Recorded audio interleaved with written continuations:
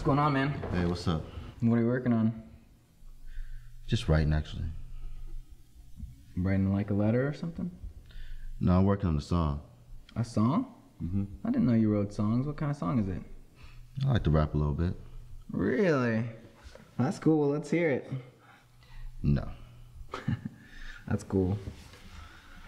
So you look like you're doing pretty good out there today. You play sports or something?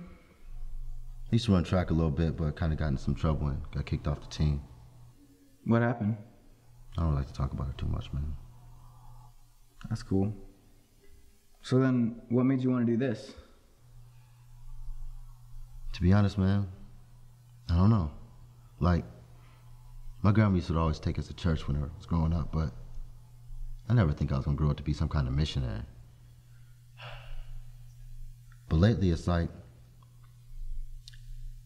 kind of felt God giving me a second chance to to do something like this.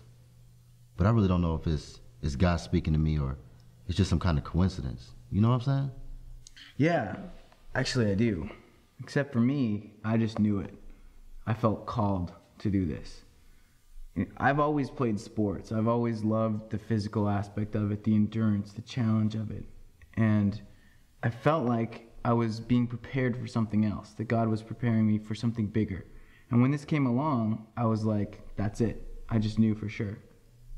Well, how do you know? I mean, how do you know it's God and not some kind of coincidence?